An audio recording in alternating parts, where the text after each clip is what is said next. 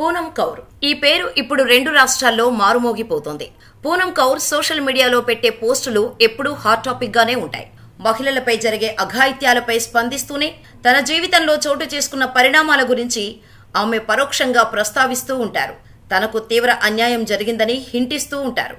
పూనం కౌర్ పెట్టే పోస్టులు అటు సినీ అభిమానుల్లోనూ మరోవైపు రాజకీయ పార్టీల శ్రేణుల మధ్య తీవ్ర చర్చకు దారితీస్తూనే ఉంటాయి.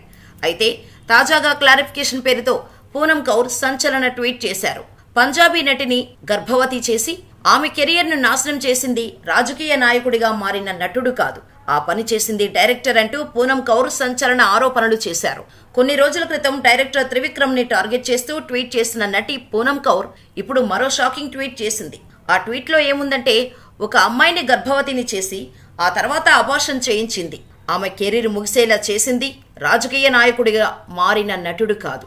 ఆ పని చేసింది డైరెక్టర్. మా జోక్యం ఆ సగం పంజాబీ నటికి కొంత సాయం దొరికింది. అయితే రాజకీయాల కారణంగా ఇందులోకి నన్ను రాజకీయ నాయకుడిగా మారిన నటుడిని అనవసరంగా లాగారు అని పూనం కౌర్ ట్వీట్ చేశారు. పంజాబ్ గిరి అనే హ్యాష్ ట్యాగును కూడా పూనం కౌర్ ఈ పోస్టుకు జత చేశారు. అయితే ఈ పోస్టులో పూనం కౌర్ ఎవరి పేర్లను మెన్షన్ చేయలేదు. అయితే ప్రస్తుతం పూనం కౌర్ చేసిన ఈ పోస్టు సంచలనంగా మారింది. ఈ పోస్టుపై స్పందిస్తున్న నెటిజన్లు పలు కామెంట్స్ చేస్తున్నారు. ఆ పేర్లు ఏదో డైరెక్ట్గా చెప్పొచ్చుగా?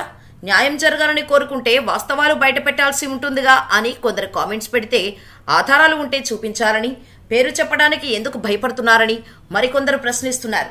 మరికొందరు వాళ్ళెవరో తెలిసిందేగా అంటూ కామెంట్స్ చేస్తున్నారు.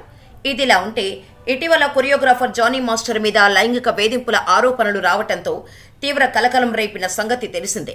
ఆ టైంలోనే దర్శకుడు త్రివిక్రమ్ శ్రీనివాస్ పేరును ప్రస్తావిస్తూ పూనం కౌర్ సంచలన పోస్టు చేశారు. త్రివిక్రమ్ శ్రీనివాస్ పై మా అసోసియేషన్ ఫిర్యాదు తీసుకుని ఉంటే నాకు చాలా మందికి రాజకీయ బాధ ఒత్తిళ్ళు ఉండేవి కావు. ఈ విషయంపై పెద్దలకు ఫిర్యాదు చేశాను. ఇప్పటికైనా ఇండస్ట్రీ పెద్దలు డైరెక్టర్ త్రివిక్రమ్ను ప్రశ్నించాలని కోరుకుంటున్నాను అని పూనం కౌర్ ట్వీట్ చేశారు. అయితే రెండు వేల పద్దెనిమిదిలో కత్తి మహేష్ పోసాని కృష్ణమురళి ప్రెస్ మీట్ పెట్టి పూనం కౌర్ అండ్ త్రివిక్రమ్ గురించి సంచలన విషయాలు బయటకు చెప్పారు.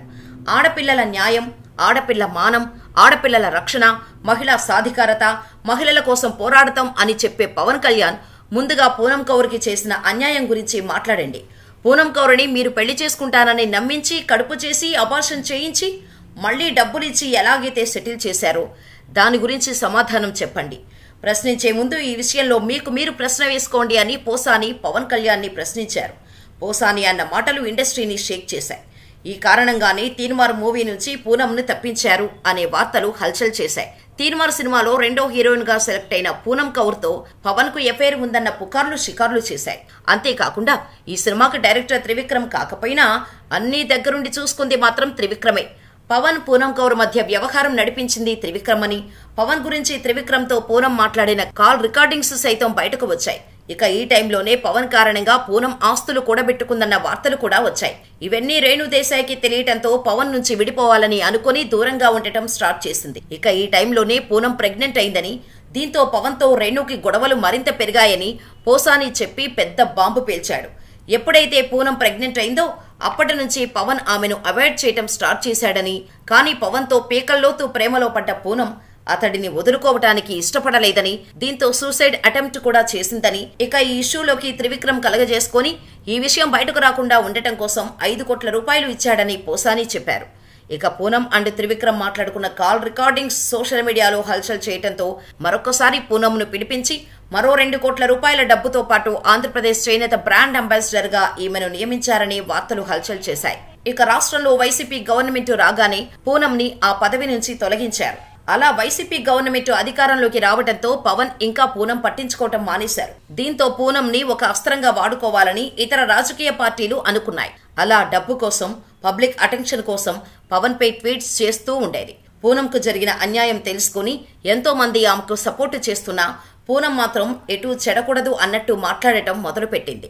దీంతో పూనం స్వలాభం గురించే ఇదంతా చేస్తుందని అర్థం చేసుకున్న వారు పూనంకి దూరం జరగటం మొదలుపెట్టారు.